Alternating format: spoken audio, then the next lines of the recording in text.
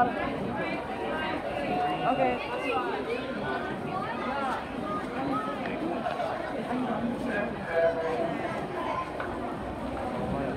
成績公佈，女子丙組五十米蛙泳嘅成績。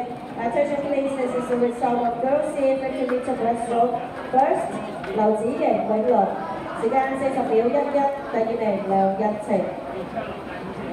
時間四十一秒九四，third 龙楚楚永乐，時間四十二秒八九，four t n e r s i 拉開斯林 l 柳樹，五十九，hello t 三，one four two eight s e v e n t w i r v e 洋直橋 hello，six 李永同一零九二，seven 十一集，九六米 eight 周永六八周年。